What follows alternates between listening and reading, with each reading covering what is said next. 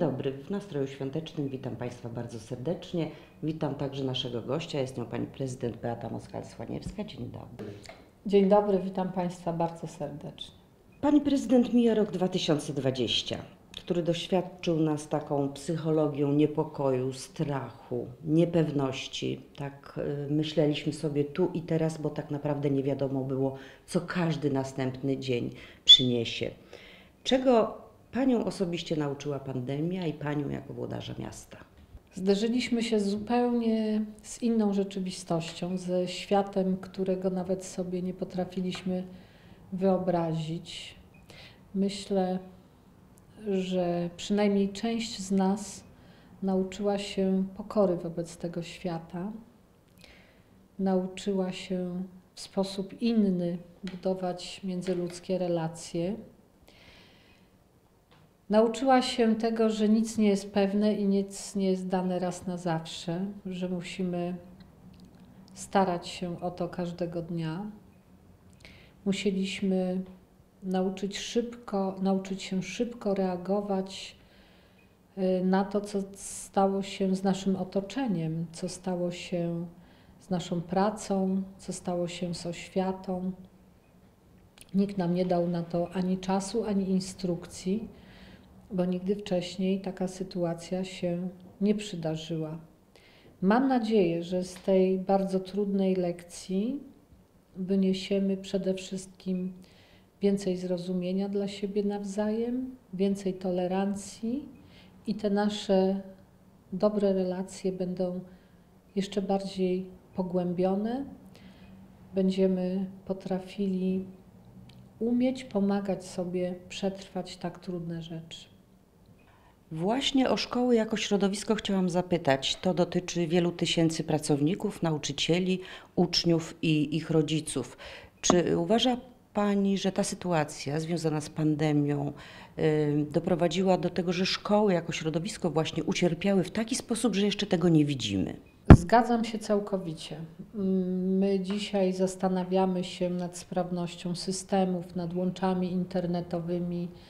E, Zdajemy sobie sprawę, że nauczyciele znów nie mieli czasu zbyt wiele, żeby przygotować się do zdalnego nauczania. Wiemy też, że nie wszystkim to dobrze wychodzi, nie wszyscy potrafią wejść w ten wirtualny świat.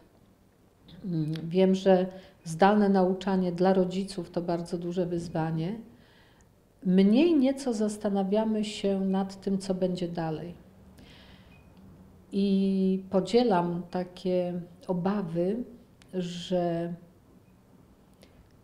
brak kontaktów z rówieśnikami, brak kontaktów z klasą, z wychowawcami, z nauczycielami odbije się niestety negatywnie na relacjach społecznych, na wychowaniu, na tym, jak te dzieci będą później funkcjonować w życiu dorosłym i będzie to na pewno ogromne wyzwanie dla wychowawców wtedy, kiedy szkoły znów się otworzą. Myślę, że przede wszystkim dotyczy to najmłodszych, dotyczy to uczniów pierwszych klas szkół podstawowych, które wciąż jeszcze e, kształtują swoje osobowości, uczą się tych relacji. I tu nagle zostało to wszystko przerwane. No ale jakby nie było, trzeba walczyć, czasem toczyć tę walkę codziennie. I chciałam zapytać, czy zaplanowane inwestycje na rok 2020 przebiegły w miarę sprawnie, a jeśli nie, to czy powodem była także pandemia? Wiemy o ludziach, którzy, pracownikach, którzy byli na kwarantannie, wiemy, że były y, zarządzane przestojowe tak zwane godziny w różnych firmach. Jak firmy, które wykonują zadania na zlecenie miasta, do tego tematu podeszły, z jaką sytuacją się zderzyły i czy w związku z tym były jakieś obsunięcia, jeśli idzie o realizację zadań inwestycyjnych w mieście? Po pierwsze, myśmy sprawnie zorganizowali naszą pracę wewnątrz urzędu. Bardzo szybko przeszliśmy na usługi elektroniczne tam, gdzie było to możliwe. Obostrzenia, w jakich pracowaliśmy, wynikały i z odgórnych rozporządzeń, ale także zwykłej dbało, ze zwykłej dbałości o bezpieczeństwo i pracowników, i osób, które do urzędu przychodziły. Oczywiście pandemia nas nie ominęła. E, Kilkanaście osób zachorowało, przechorowało, wróciło do pracy. Wprowadziliśmy system pracy hybrydowej. Mm, Umożliwiły to te rozwiązania, które wdrażaliśmy 2-3 lata temu, jeśli chodzi o cyfryzację urzędu. To pozwoliło na sprawną obsługę różnych spraw, również inwestycji.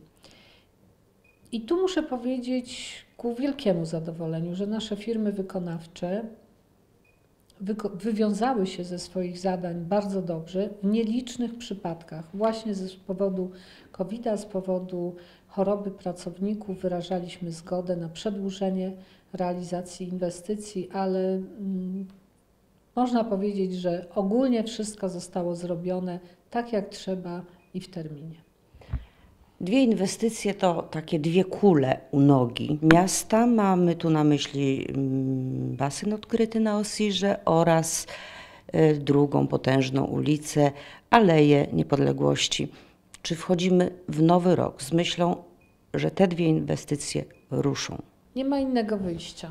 Basen kilka lat temu powierzyłam do wykonania Świdnickiej spółce, Świdnickiemu Przedsiębiorstwu Wodociągów i Kanalizacji. Niestety z ubolewaniem stwierdzam, że inwestycja ta mm, przerosła chyba byłego już prezesa Eśpewiku, który mimo wielu, wielu deklaracji, wielu danych mi słów nie potrafił jej nawet rozpocząć. Świadczy to po prostu o miernym sposobie zarządzania przedsiębiorstwem. Czasu mieliśmy bardzo dużo, środki mieliśmy zabezpieczone. Zmiana warunków postawiona przez bank na ostatnim etapie, e, kiedy byliśmy już pewni, że wyłonimy wykonawcę i budowa się rozpocznie, spowodowała, że e, cały projekt musieliśmy zatrzymać. Podjęłam wtedy decyzję, że będziemy realizować basen samodzielnie jako Urząd Miasta. W tej chwili jest ogłoszony przetarg i liczę na to, że ten przetarg zostanie rozstrzygnięty późną wiosną e, i przystąpimy do prac, które potrwają około półtora roku. Sprawa Alei Niepodległości jest o tyle skomplikowana, że jest to centrum miasta. Nie sądziliśmy też, że niektóre uzgodnienia z konserwatorem zabytków będą trwały tak długo.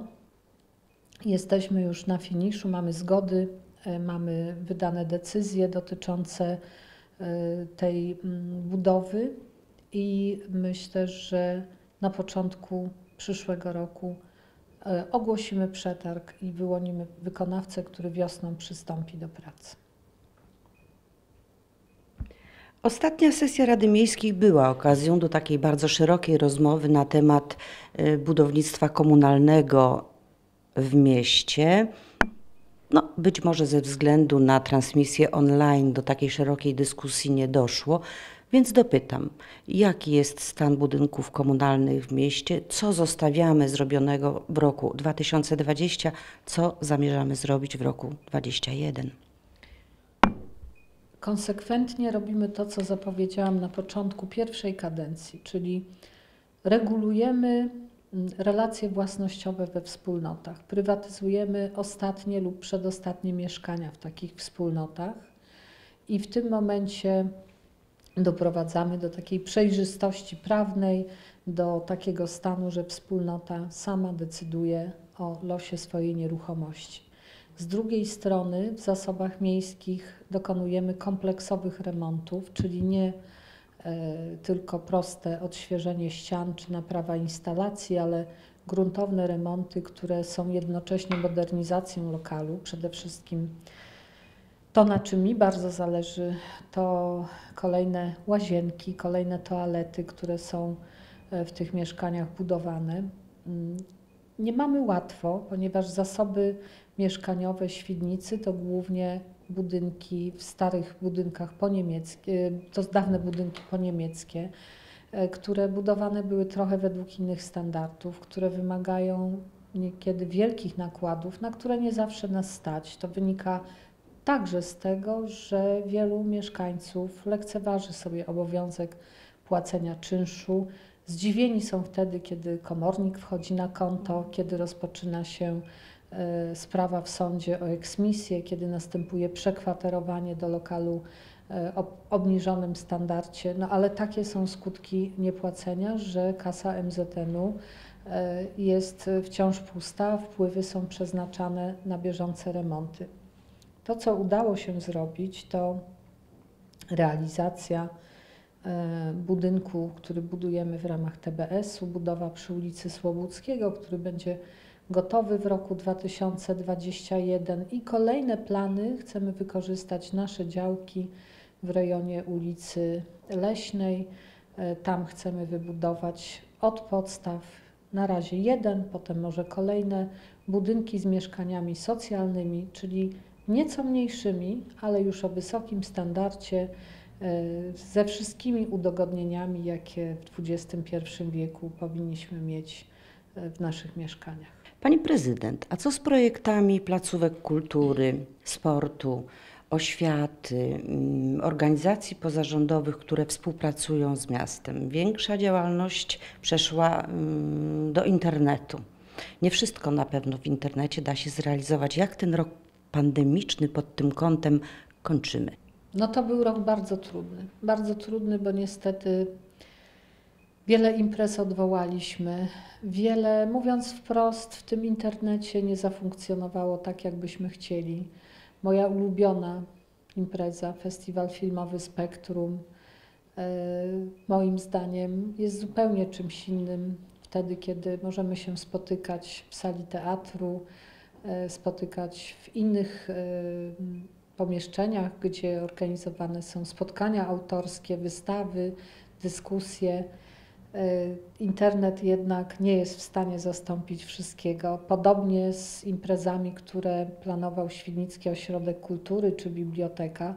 No cóż, musimy ten rok przetrwać. Ja pocieszam się tym, że nasze instytucje kultury jednak mają zapewnione środki na bieżące funkcjonowanie, że jednak ludzie dalej tam będą pracować z gwarancją i pracy, i płacy. Natomiast e, kiedy patrzę na większe miasta, na filharmonie, opery, wielkie teatry, które w dużej mierze utrzymywały się z wpływów z biletów, mm, to jest mi zwyczajnie przykro i wiem, że te instytucje będą przeżywały, czy już przeżywają o wiele głębszy kryzys i może się to w niektórych wypadkach zakończyć likwidacją takich placówek. Naszym to nie grozi. Oczywiście imprez nie ma. Odwołaliśmy też wiele y, imprez sportowych, nie tylko kulturalnych.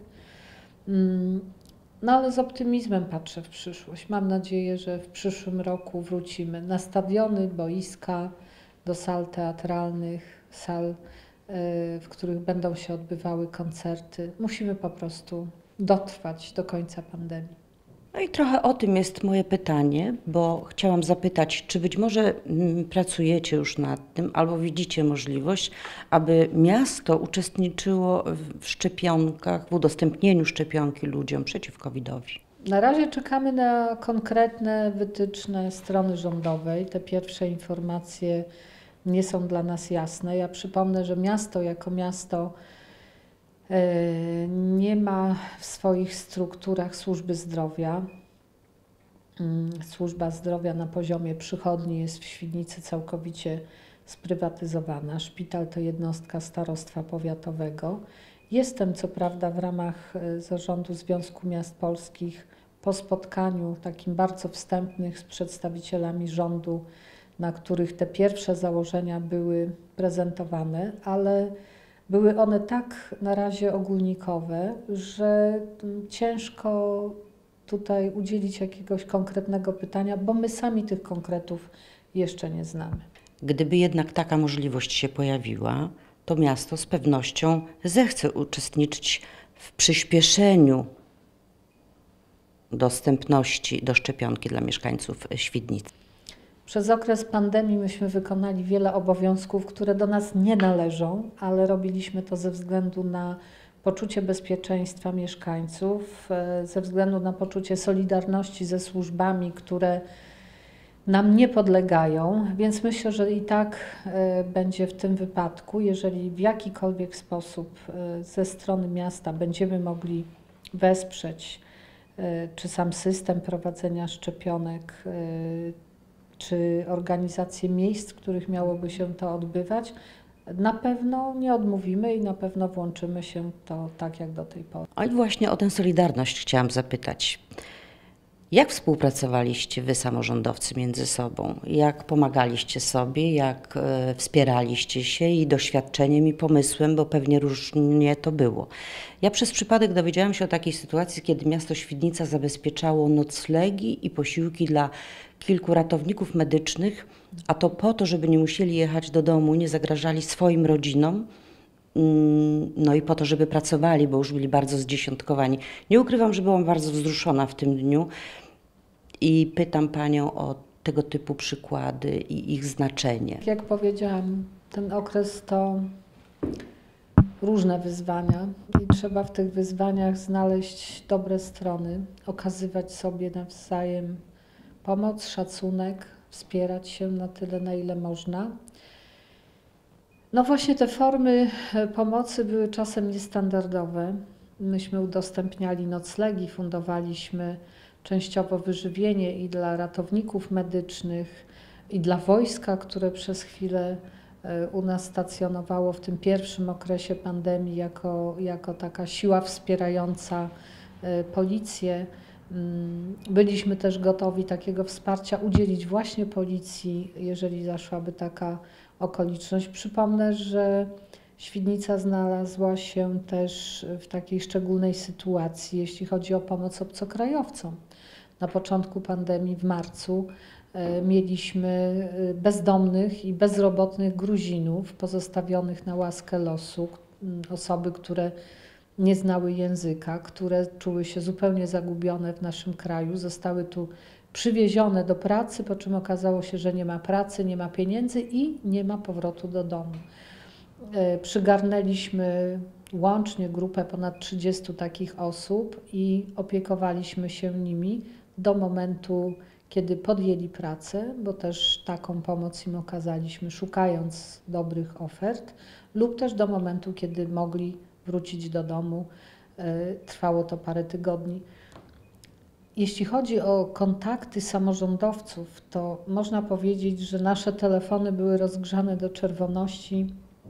Nieustannie wymi- wymienialiśmy się informacjami, ponieważ y, każdy z nas ma inne doświadczenia, każdy trochę inną wiedzę, każdy wpadł na inne pomysły. Staraliśmy się to e, konfrontować i jeden od drugiego podpatrywał, co warto zrobić tak, a nie inaczej, co warto poprawić, ulepszyć, jak zorganizować pracę, szczególnie szkół, przedszkoli, żłobków. To był ten bardzo, bardzo trudny dla nas moment. I tak dzieje się zresztą do tej pory. Zresztą samorządowcy są w ogóle taką dość solidarną rodziną, która zawsze może liczyć na wsparcie koleżanek, kolegów. W nowy rok, mimo no, nadal kryzysowej sytuacji, i mieszkańcy, i samorządowcy wchodzą z nadzieją. Nie będę wspominała, co przed tym się wydarzyło, ale budżet unijny został uchwalony, który jest takim tlenem i dla miast, i dla jego rozwoju, czyli dla nas wszystkich. Chciałabym, żeby na zakończenie naszej rozmowy o tym chwilę pomówić, co za te unijne pieniądze możemy w przyszłym roku i w przyszłych latach uzyskać, o co miasto będzie się starało. Przyszły rok to moment, kiedy będziemy kończyć już naprawdę ostatnie zadania z mijającej perspektywy. Dla Świdnicy oznacza to realizację wniosków na zmianę źródeł ogrzewania.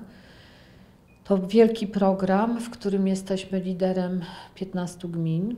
Kilkuset mieszkańców naszego miasta na pewno z takiej możliwości dofinansowania zmiany y, sposobu ogrzewania będzie mogło skorzystać. No i przygotowujemy się do perspektywy nadchodzącej. Mm, Tak realnie patrząc na doświadczenia mm, po, lat poprzednich, pieniędzy będziemy się mogli spodziewać dopiero za 2-3 lata. To będzie ten moment, kiedy programy ruszą najintensywniej. Jesteśmy już do wielu rzeczy przygotowanych. Na pewno będą to nadal działania związane z elektromobilnością. E, Tu mamy bardzo poważne plany, jeśli chodzi o zakup kolejnych autobusów. Na pewno będziemy chcieli uruchomić kolejne programy związane ze zmianą źródeł energii i tu, y, jak widzimy, też Unia takie środki nam zapewni. Największym wyzwaniem, jakie przed nami stoi, i tu bez wsparcia unijnego, mogę powiedzieć wprost, zadanie to nam się nie uda, jest modernizacja Miejskiego Zakładu Energetyki Cieplnej, które, który wciąż wytwarza ciepło w oparciu o węgiel. Wiemy, że od tego prędzej czy później będziemy musieli odejść. Im prędzej, tym lepiej.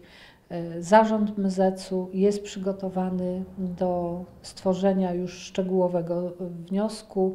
Wykonane są analizy, jest kilka różnych alternatyw, jak byśmy tę modernizację mogli przeprowadzić. Mam nadzieję, że w momencie, kiedy konkretne programy ruszą, e, złożymy skuteczny wniosek, jak to zazwyczaj bywa w przypadku Świdnicy. I tak podsumowując to, co minęło, przypomnę tylko, że w latach 2014-2020 e, Świdnica zdobyła łącznie, mówię o gminie, mówię o instytucjach miejskich, mówię o przedsiębiorcach, o instytucjach prywatnych, o związkach wyznaniowych. Świdnica pozyskała 220 milionów dotacji na różnego rodzaju projekty, głównie infrastrukturalne, ale nie tylko, bo to także między innymi bardzo duże środki na remonty dwóch naszych najcenniejszych zabytków, czyli Kościoła Pokoju i Katedry Świdnickiej. To także pieniądze unijne, dlatego warto było o nie zawalczyć, bo dzięki nim możemy zrobić dużo dobrych, ważnych, pożytecznych rzeczy. No i dziękuję bardzo, że kończymy ją tak optymistycznym akcentem, bo tych dobrych wieści jest nie za wiele i myślę, że takie właśnie zakończenie wpisuje się bardzo dobrze w klimat świąt. Dziękuję za tę rozmowę. Dziękuję serdecznie, dziękuję też Państwu i mam nadzieję, że ten rok będzie dla nas po prostu lepszy, że będziemy mieli więcej powodów do optymizmu, do uśmiechu, do radości e, i wkrótce przyjdzie taki czas, że będziemy mogli znów w sposób nieskrępowany uczestniczyć w różnego rodzaju, także miejskich wydarzeniach, które bardzo byśmy chcieli dla Państwa zorganizować. Wierzę, że tak będzie.